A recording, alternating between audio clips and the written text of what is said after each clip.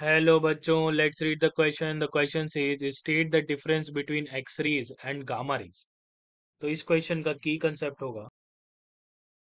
X rays and gamma rays हम एक तरफ़ एक्स रेज लिखते हैं और दूसरी तरफ़ गामा रेज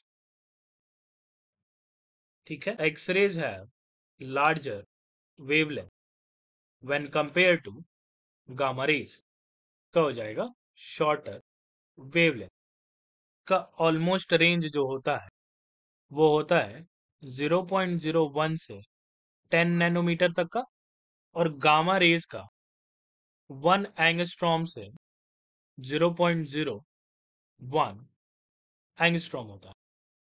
एक्सरे का पेनिट्रेशन पावर गामा रेज के मुकाबले कम होता है।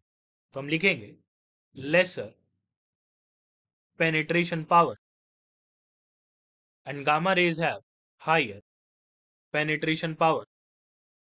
X-rays are produced from outer part of the atoms while gamma rays are produced from nucleus.